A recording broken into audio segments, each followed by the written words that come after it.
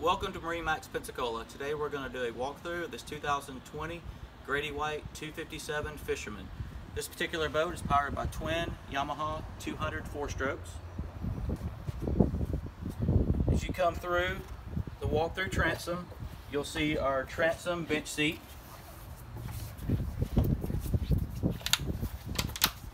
Also on the transom, you'll have a large fish box these do drain directly overboard by gravity. Here on the port side, you'll have a live well with a full column distribution. Freshwater sprayer.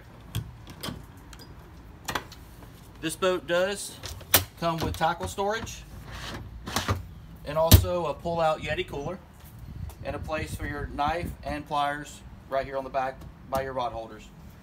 As we come to the helm area, you'll see dual seats with flip-up bolsters.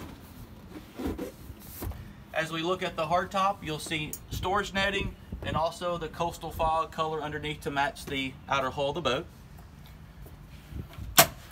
Have electronics box, touch spreader, and dome light.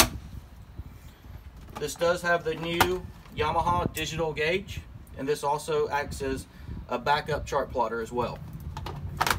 Fusion stereo remote, Bennett trim tabs here at the helm with indicators, anchor windlass system. This boat does also have the flush system on the starboard side. As we look here, you'll see a very spacious head area. And that is a waste uh, pump out as well we come forward, you'll see seating forward of the helm. Also plenty of seating in the bow with backrest.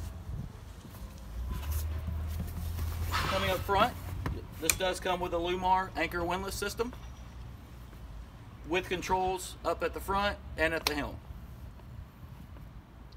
This concludes the walkthrough of the 2020 Grady White 257 Fisherman. Come see us at Marine Max Pensacola.